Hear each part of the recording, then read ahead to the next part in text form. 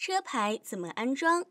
对于第一次买车的朋友来说，车牌安装的确有难度，稍微不注意就会被视为不按规定操作，并进行相应的处罚。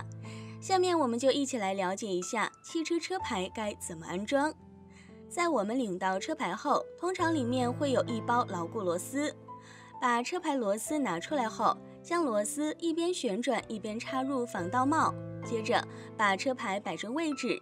然后把螺丝对准保险杠上的四个空隙，然后用十字改锥进行固定。拧好后，将防盗帽的帽子盖上，轻轻按入即可。车牌安装必须注意，要将八颗螺丝都安装好。